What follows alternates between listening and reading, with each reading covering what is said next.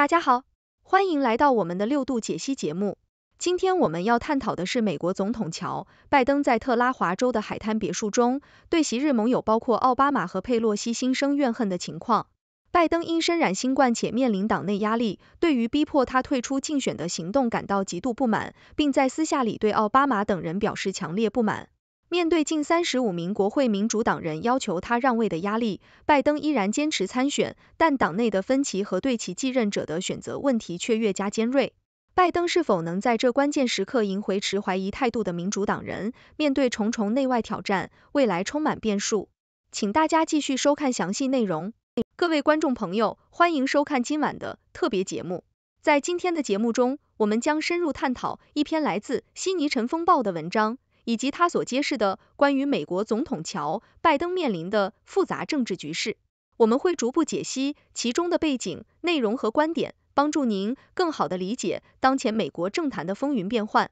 最近，悉尼晨风报披露了一则爆炸性新闻，称美国总统乔拜登在特拉华州的海滩别墅中因感染新冠病毒而隔离，同时也因党内压力而愤懑不已。文章透露。拜登认为这是某些民主党领导人有组织的试图逼他退出二零二四年总统竞选。这其中，拜登尤其对前总统巴拉克·奥巴马感到不满，认为他是幕后黑手之一，而前众议院议长南希·佩洛西则是主要策划者。拜登对这些曾经的盟友心生怨恨，尤其是因为他们曾是他政治生涯中不可或缺的支持者。拜登的愤怒和不满在这种背景下显得格外引人注目。当前，民主党内部显现出前所未有的分歧，许多领导人公开表示对拜登能否在2024年击败共和党对手唐纳德·特朗普表示怀疑。文章进一步指出，佩洛西和参议院领袖查克·舒默推动拜登实现了一系列标志性立法成就，但他们现在却对拜登继续竞选持保留态度。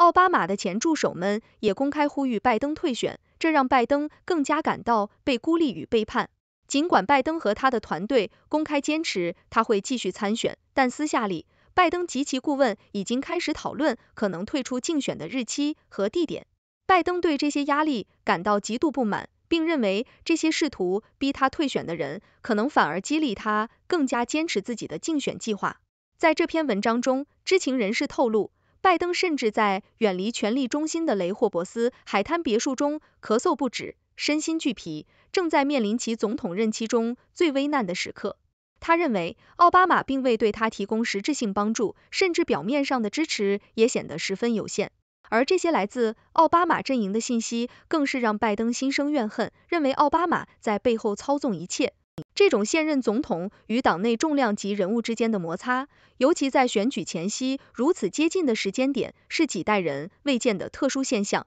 拜登与奥巴马的复杂关系，尤其是他们在白宫共事的八年，让这场政治戏剧更具莎士比亚式的色彩。拜登曾在奥巴马的支持下，从一个总统竞选失败者变成了副总统，并最终在二零二零年成功入主白宫。而现在，曾经的盟友却成为了彼此政治生涯中的最大障碍。这种内部斗争不仅反映了拜登个人的困境，也揭示了当前民主党面临的深层次问题。更多的国会议员，包括新墨西哥州参议员马丁·海因里希和至少九位众议员，公开呼吁拜登退选。佩洛西的亲密盟友们也不约而同地表达了类似的观点，这无疑是对拜登的沉重打击。这种党内分裂不仅仅影响着拜登的竞选前景，也使民主党整体面临着前所未有的挑战。在特拉华州的海滩别墅中，八十一岁的拜登因感染新冠病毒而隔离，同时也在与党内的亲信和顾问们隔离。尽管白宫医生产生了乐观的预期，认为拜登的新冠症状正在好转，但他在政治上的孤立和压力却未见缓解。在这种背景下，拜登团队仍然坚称他准备重返竞选活动，以反击特朗普描绘的黑暗愿景。拜登在声明中表示，作为一个政党和一个国家，我们可以并且将会在选票箱中击败他。这一声明虽然充满斗志，但能否消除党内的分歧与质疑，目前仍是一个巨大的问号。与此同时，党内的辩论和激情也在加剧。据报道，在一次有约三百人参加的捐助者电话会议中，捐助者对当前局势表达了深切的担忧。有些民主党人已经开始呼吁拜登让位，以便为党内其他候选人争取时间和资源。目前，民主党内对拜登是否应该继续竞选存在严重分歧。尽管有些议员支持公开的提名过程，以便选出新的候选人，但也有一些人认为，跳过卡马拉·哈里斯这一国家首位女性副总统，从政治上是不可想象的。拜登的支持者则仍然对他表示信任，认为他可以继续胜任总统职务。总结来说，拜登当前面临的压力不仅来自于共和党的对手特朗普，更来自于他自己的政党内部。这种内外夹击的局面使他的竞选前景变得更加复杂和难以预测。民主党内部的分裂和争论将在未来几周内决定拜登能否继续参选，以及他能否赢得党内外的支持。感谢大家观看今晚的特别节目，请大家继续收看本节目的深入探索，我们将持续为您带来更多关于美国政坛的最新分析和报道。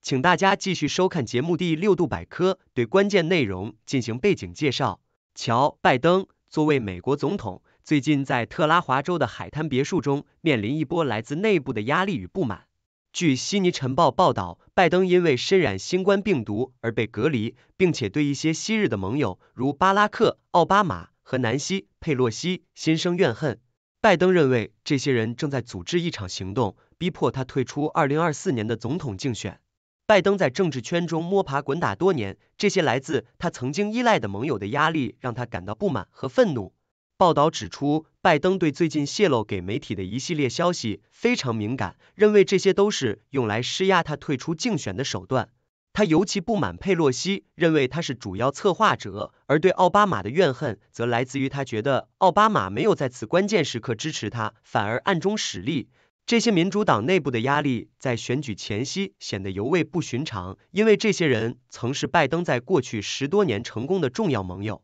拜登虽然公开坚持他会继续竞选，但私下里他也越来越接受可能无法继续参选的现实，甚至开始讨论可能宣布退出的日期和地点。根据知情人士透露，除了佩洛西和奥巴马，参议院民主党领袖查克·舒默和众议院民主党领袖哈基姆·杰弗里斯也被认为对拜登施加了压力，认为民主党在即将到来的选举中将遭遇毁灭性失败，这让拜登十分恼火。并且他注意到，奥巴马并没有公开帮助他，即使奥巴马的前助手们公开呼吁拜登退出竞选，这被解读为来自奥巴马阵营的信息。拜登的支持者和反对者之间的矛盾在公开和私下都在加剧。据报道，即使在白宫内部，拜登也表现出对奥巴马和一些前总统助手的不满，特别是那些在1994年和2010年中期选举中造成历史性民主党失败的人。这种内部摩擦和权力斗争让拜登感到被孤立和背叛。尽管面对这些内部的压力，拜登和他的团队仍然公开表示他会继续参选。在接受采访时，拜登竞选主席詹妮弗·奥马利·迪伦强调，总统绝对会继续参选，并且拜登本人也表达了他的决心。然而，拜登团队也承认，竞选活动确实遇到了困难，支持率出现了下滑，但仍对竞选的最终胜利保持信心。此外，关于拜登的健康状况，白宫医生表示，虽然他仍有干咳和声音沙哑的症状，但新冠症状有所改善。拜登计划在康复后重返竞选活动，继续对抗唐纳德·特朗普所描绘的黑暗愿景，并为自己的连任竞选辩护。总体来说，拜登目前面临的挑战不仅来自政治对手，也来自于他所在的民主党内部的压力和不满。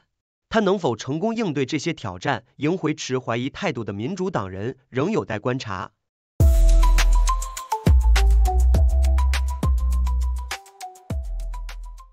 欢迎大家进入六度探索的辩论环节，我们从正反两个角度对本节目进行辩论，请出我们的辩论高手楚天舒、谢琪琪。我是楚天舒，我是谢琪琪。各位观众，我们先来看看拜登的情况吧。这位八旬老将在政治界摸爬滚打数十年，现在居然被盟友逼下台，这可真是令人叹息。拜登可不像是那么容易被击倒的人物，他是在二零二零年击败了特朗普，成功坐上总统宝座的，不是吗？这可是个了不起的成就。而且他在疫情期间推出的救助计划也帮助了无数美国人，这样的攻击怎么能被忽视呢？楚天舒啊，你说的好像拜登就是超级英雄一样，但现实可不是漫画。他现在身体状况明显不佳，又被新冠病毒缠身，还要应对党内的逼宫，这可不是什么光明的前景。再说了，奥巴马和佩洛西这些人可不是吃素的，他们背后的政治运作比莎士比亚的剧本还要复杂。拜登这次真的是面临着他政治生涯中最危险的时刻，连他的盟友都开始离他而去了。琪琪，你这魔说真是低估了拜登的韧性。他可是经历过无数风浪的人。当年奥巴马选择他做副总统，就是看中了他的经验和稳定性。现在，拜登仍然有坚定的支持者。像民主党参议员克里斯·库恩斯，他可是拜登最亲密的盟友之一。你说奥巴马和佩洛西在背后搞小动作，但这些人能真正推翻拜登的决心吗？拜登可不是轻易被击垮的，而且他还有一大批忠实的支持者呢。楚天舒，你这简直就是在美化现实。拜登现在的处境比你说的要糟糕得多。据美联社的民调，近三分之二的民主党人都觉得他应该退出竞选，这可不是个小数字。再看看他在雷霍伯斯的情况，不仅身体不适，还要面对各种政治压力。民主党内部已经出现了明显的裂痕，这可不是拜登一个老将能轻易修复的。这种情况下，硬撑下去只会让局势更加混乱，还不如早点让位，让年轻一代来接手。琪琪，你这话说的未免太过悲观。拜登的党内支持者并非只是嘴上说说，而是有实际行动的。你看看国会黑人核心小组和国会西班牙裔核心小组，他们可是公开支持拜登继续竞选的。还有。拜登自己也说了，赌注很高，选择很明确，他有信心击败特朗普。这可不是随便说说的，而是有实际基础的。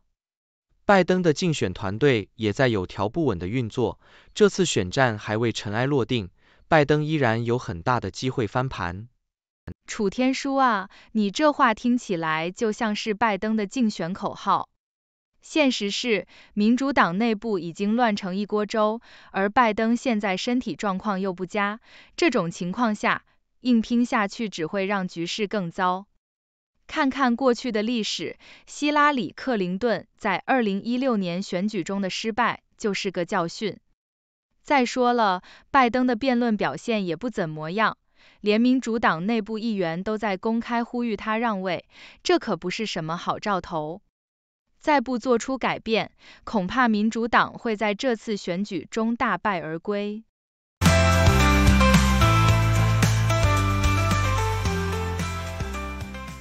谢谢大家收看六度探索，这是一个由科学家、经济学家、媒体人、工程技术人员合作建立的新型媒体。网友与六度 AI 参与合作完成各种内容，这些内容不能作为任何决策或法律的意见。这是一个新型的试验性媒体方式，我们希望得到大家的支持，修正错误。网友可以参与讨论，也可以向万能的六博士提出你能想出的任何问题。六度世界网址是六 do world，请介绍给你的亲朋好友。